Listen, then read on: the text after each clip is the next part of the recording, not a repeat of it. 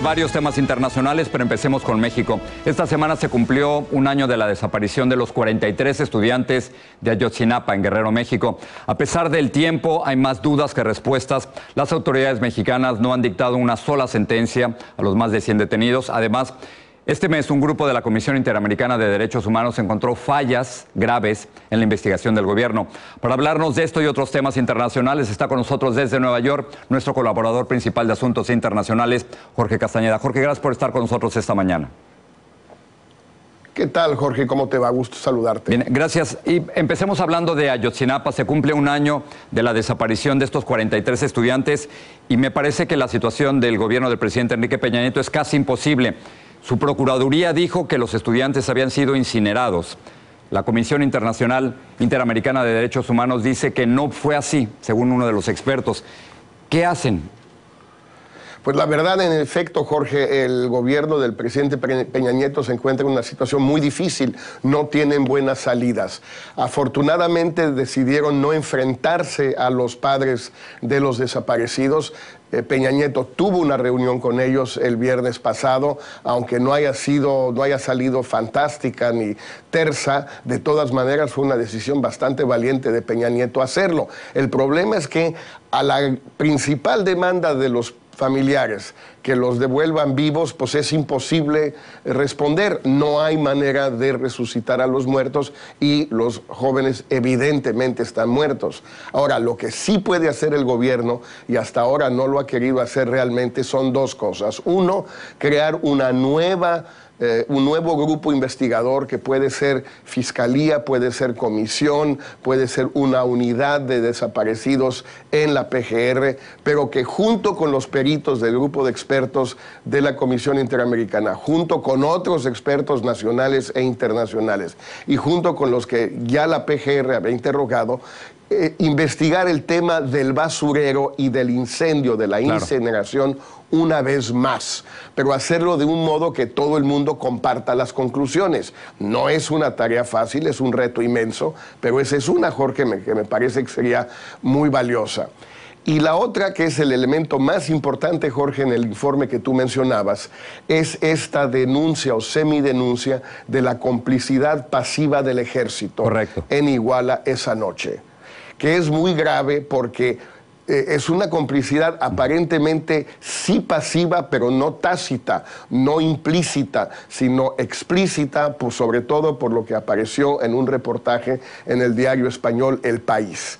Y esa es una, eh, una investigación que debe seguirse. Y por último, el famoso quinto autobús posiblemente cargado de goma o de heroína para ser enviado a Estados Unidos, a Chicago, y que desapareció esa noche y que todavía no se sabe exactamente a dónde está. Después de la reunión con los, con los familiares de los estudiantes, el presidente Peña Nieto dijo lo siguiente en la cuenta de Twitter, les aseguré que la investigación sigue abierta, no habrá carpetazo, y precisamente uno de los temas que estás apuntando, Jorge. Human Rights Watch asegura que el ejército mexicano y la Policía Federal sí participaron de alguna forma en la desaparición de los estudiantes y esto contradice la supuesta verdad histórica del ex procurador Murillo Caram.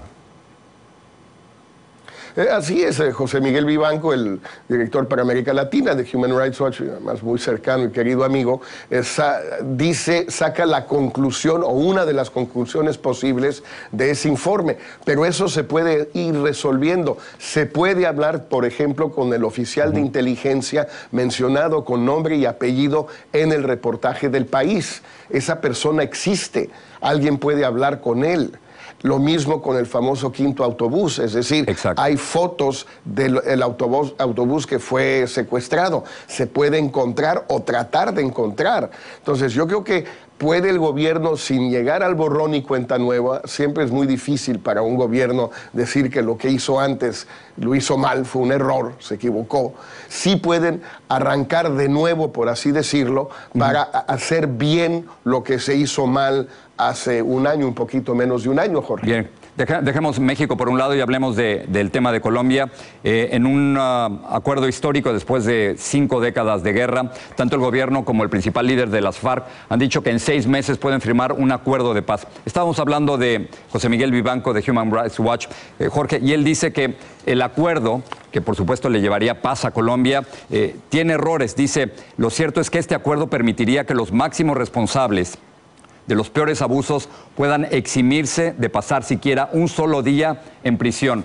La pregunta, Jorge, es, ¿en Colombia se vale todo por la paz? Bueno, un solo día en prisión en el sentido estricto, Vivanco por supuesto tiene razón. Ahora, sí estarían, estarían en centros de detención especiales cuyas condiciones no serían las de una cárcel, pero tampoco serían las de una libertad completa como la que tenemos tú y yo o los millones de personas que nos escuchan. Entonces, sí hay una etapa intermedia, hay un punto intermedio ahí. ¿Cuál es la discusión de fondo, Jorge, la que tú planteas? Es decir, o hay paz o hay guerra.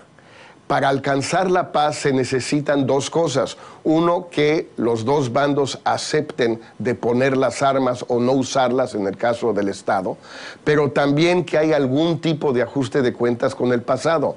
Entre más avanzas en lo de la paz, menos ajustes de cuenta tendrás con el pasado. Esto es inevitable, esto sucedió en Sudáfrica, sucedió en Chile, sucedió en todos los países donde ha habido regímenes dictatoriales o donde ha habido guerras civiles o donde ha habido guerrillas sin llegar a una guerra civil, pero que han durado muchísimo, como es el caso de Colombia. a mí me parece que el acuerdo al que llegó el presidente Santos es un buen acuerdo, es el acuerdo posible, Jorge. No es un acuerdo perfecto, esos no existen.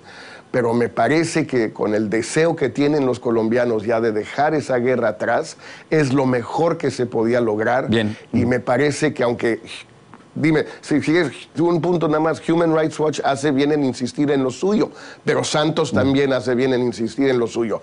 La clave es que los colombianos lo aprueben y eso sí está en duda. Eh, Jorge, y déjame terminar con, con unas imágenes eh, sumamente interesantes del el gobernante Raúl Castro junto con el expresidente norteamericano Bill Clinton. Tú seguiste muy de cerca esa época en donde Estados Unidos y Cuba estuvieron a punto de restablecer relaciones diplomáticas y luego, por supuesto, el gobierno cubano derriba las avionetas de eh, Hermanos al Rescate. Cuando ves estas imágenes de Raúl y Bill Clinton, ¿qué te sugieren a ti? Me sugieren dos cosas, que en efecto se desperdició una oportunidad en 1994, eh, eh, Jorge, que hubiera, nos hubiera ahorrado 20 años de sufrimiento el pueblo cubano por culpa de un régimen dictatorial con un desastre económico monumental y que hubiera quizás podido cambiar gracias a una normalización con Estados Unidos hace 20 años. Pero también vale la pena recordar, Jorge, que cuando Raúl Castro, como jefe del ejército en aquella época de las Fuerzas Armadas, toma la decisión de derribar a la avioneta de Hermanos al Rescate, eso provoca que Clinton ya no tenga la fuerza para vetar lo que se llegó a llamar la Helmsburg, la ley Helms-Burton. Exactamente. Y esa ley convirtió, convirtió el embargo de Kennedy, que un acto ejecutivo, en una ley del Congreso. Y por eso hoy, 20 años después, Obama no puede levantar el embargo. Y al no poder levantar el embargo, todos estos gestos, seguramente habrá también un saludo de manos mañana entre el presidente Obama y el presidente Castro todos estos gestos ayudan poco al cubano de a pie. Jorge Castañeda, muchísimas gracias por estar con nosotros hoy vía satélite desde Nueva York. Gracias. Gracias, Jorge.